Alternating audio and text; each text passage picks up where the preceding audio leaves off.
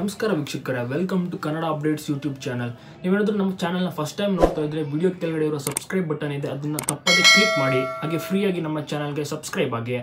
ಹಾಗೆ ಒಂದು ಪಕ್ಕದಲ್ಲಿ ಒಂದು ಬೆಲ್ ಐಕನ್ ಕೂಡ ಬರುತ್ತೆ, ಅದನ್ನು ಕ್ಲಿಕ್ ಮಾಡುವ ಮುಖಾಂತರ ನಾವು ಹಾಕುವ ಎಲ್ಲ ವಿಡಿಯೋ ಮೊದಲು ನೋಟಿಫಿಕೇಶನ್ ನಿಮಗೆ ತಲುಪುತ್ತದೆ.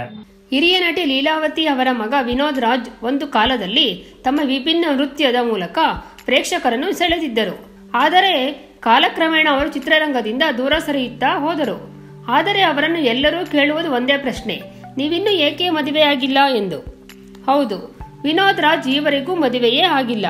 ಇದಕ್ಕೆ ಒಂದು ಕಾರಣವಿದೆ. ಅದೇನು ಅಂತೀರಾ? ಇಂದಿನ ದಿನಗಳಲ್ಲಿ ಮಕ್ಕಳು ತಂದೆ ತಾಯಿಯನ್ನು ಅಷ್ಟು ಪ್ರೀತಿಯಿಂದ ನೋಡಿಕೊಳ್ಳುವುದಿಲ್ಲ.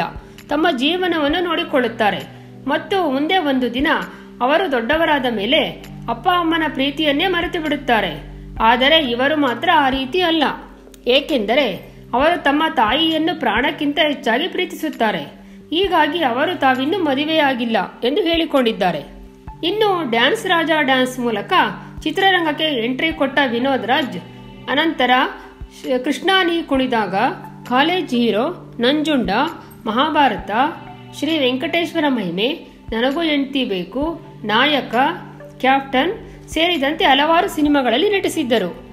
ಅಷ್ಟೇ ಅಲ್ಲದೆ ತಮ್ಮ ಡ್ಯಾನ್ಸಿಂಗ್ ಮುಖಾಂತರ ಎಲ್ಲರ ಮನಸ್ಸನ್ನು ಸೆಳೆದಿದ್ದಾರೆ. ಆದರೆ ಇದೀಗ ತಮ್ಮ ತಾಯಿಗೋಸ್ಕರ ಎಲ್ಲರಿಂದ ದೂರವಿದ್ದು, ತಾಯಿಯನ್ನು ಸಂತೋಷದಿಂದ, ಖುಷಿಯಿಂದ ನೋಡಿಕೊಳ್ಳುತ್ತಿದ್ದಾರೆ. ವೀಕ್ಷಕರೇ, ಈ ವಿಡಿಯೋನ ಆದಷ್ಟು ಬೇಗ ಈಗಲೇ ಎಲ್ಲ ಕಡೆ ಶೇರ್ ಮಾಡಿ, ಹಾಗೆ ವಿಡಿಯೋನ ತಪ್ಪದೆ ಲೈಕ್ ಮಾಡಿ, ಹಾಗೆ ನಿಮ್ಮ ಅನಿಸಿಕೆ, ಅಭಿಪ್ರಾಯವನ್ನು ತಪ್ಪದೆ ಕಮೆಂಟ್ ಮೂಲಕ ನಮಗೆ ತಿಳಿಸಿ. ಧನ್ಯವಾದ. ವಿಡಿಯೋ ನೋಡಿದ್ದಕ್ಕೆ.